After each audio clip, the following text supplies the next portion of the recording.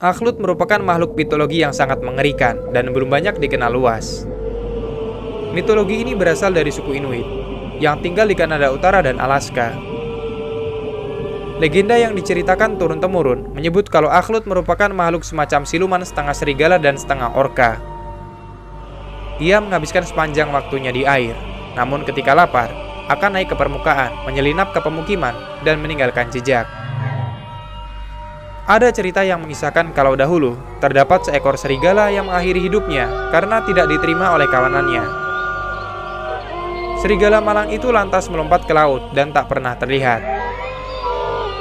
Sejak saat itu, ia menaruh dendam kepada siapa pun yang tinggal di darat dan akan terus mengganggu dengan teror.